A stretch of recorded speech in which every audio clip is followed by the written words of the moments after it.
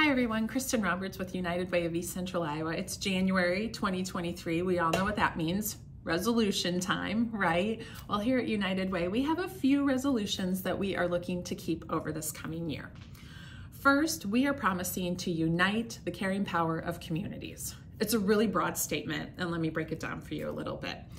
We already know what our community's toughest issues are, right? And when we talk about uniting the caring power of communities, we understand who from the nonprofit world, for the for profit world, from other organizations need to come together around a table to imagine and dream and come up with amazing solutions to tackle these tough issues. And the important thing about this is to remember it's not United Way saying this is what we need to do.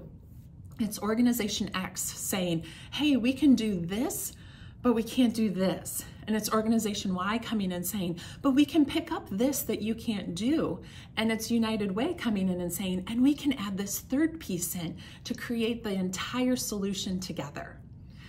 The second thing that we resolve to do is invest in effective solutions. And we do that through two different ways.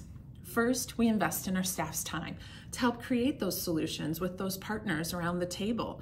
And we also do it through investing in our partner agencies both through those solutions that we've come up together with and with solutions that they have come up with on their own. And the thing that's important to remember about United Way is it's a three year commitment for a funding cycle. And that's important for our nonprofit community when it comes to stability for funding. And finally, our promise is, is that these solutions are focused on improving people's lives. And this is where we want to be clear that it's not just improving this group of people's lives, it's improving everyone's lives. Friends, families, neighbors, we know when our community thrives, we're all going to thrive together. And so that's important for us is that everyone is thriving. Little secret, these aren't necessarily resolutions, it's actually our mission statement.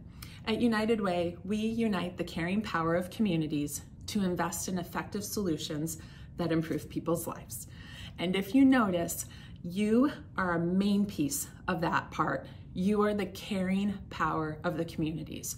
You are driving all of this from the beginning. So thank you so much for your investment in our community and your investment in United Way. Together, we're going to tackle these tough issues over this coming year, resolutions or not. Have a great year.